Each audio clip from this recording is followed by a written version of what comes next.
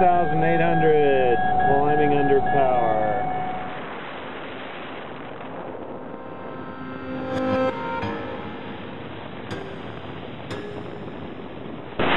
Okay, 14,000 feet just north of the Matterhorn. What a view, what a view.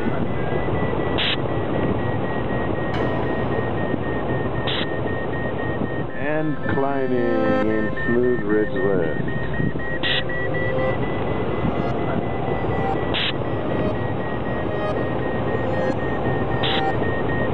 And charging my batteries quite well.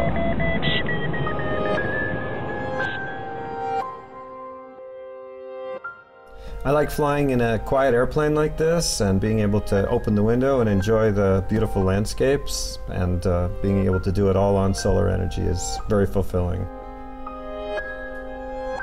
We've proven many times what's possible now the next thing is to develop something so we can share the experience.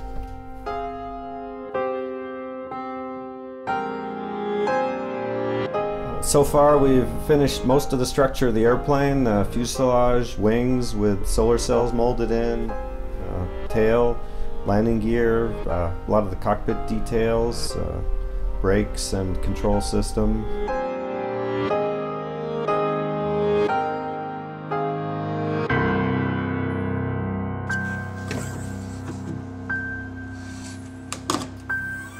The Sunseeker Duo is based on my single-seat Sunseeker, which I built uh, between 1986 and 1990, and I flew it across the United States and then later all over Europe.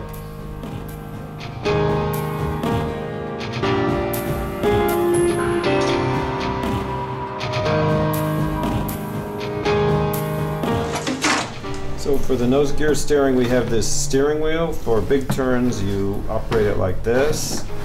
And for um, higher speeds, for takeoff and landing, you just make small corrections, just like this. You're able to make very sharp turns on the ground with this, more than 45 degree um, turn for the nose wheel. What are you doing? I'm going to sleep. Hey, well, let me try that. Ah, Even without padding, it's comfortable, isn't it? I have to wake up already. There we go. It's too comfortable.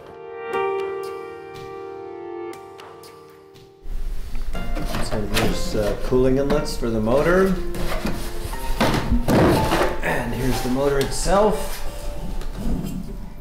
Yeah, we're, uh, we're still working on the motor installation, the electronics to drive the motor and the folding propeller. And uh, after that, we'll be ready to make a test flight. Hmm, not that easy. There we go.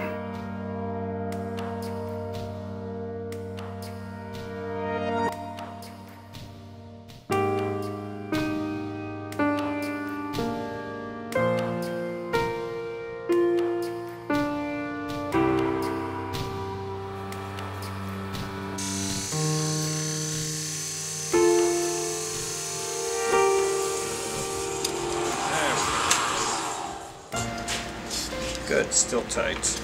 Well, no. It's just this end is a problem. Okay. I'm thankful to all the people that have helped me make this possible. I really enjoy flying by solar power, and I'm, I'm happy to have the freedom of uh, flying without depending on any fossil fuels.